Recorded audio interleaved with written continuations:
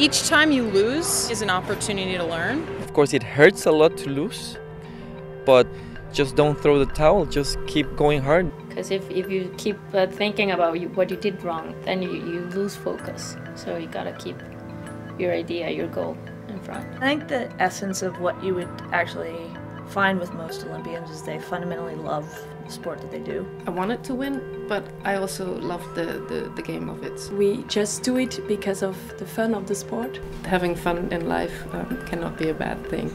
You're going to have to put in a lot of hard hours. You're going to have to dedicate yourself. because there's uh, very few days of glory for many, many days of training. And so you have to enjoy it. You need to enjoy what you're doing. When you are at that time, you could go, okay, what does it feel like to lose?